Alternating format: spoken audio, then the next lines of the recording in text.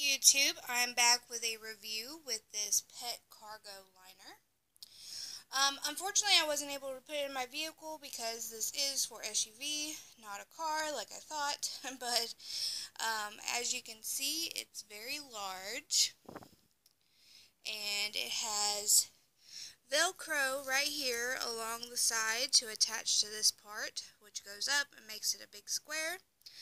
Back of here, it has a adhesive strip to go to the window that also has velcro on the other side so it stays in place. It's made out of a very high quality material. The back is like um, a, I don't know a thick plastic and the front is very washable and durable.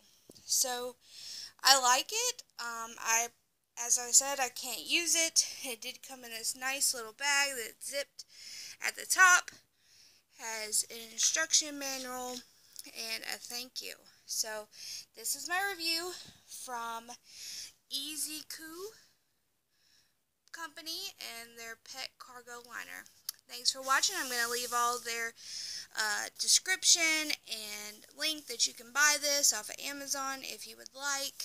Like I said, once, twice, three times again, I couldn't put this in my car, unfortunately.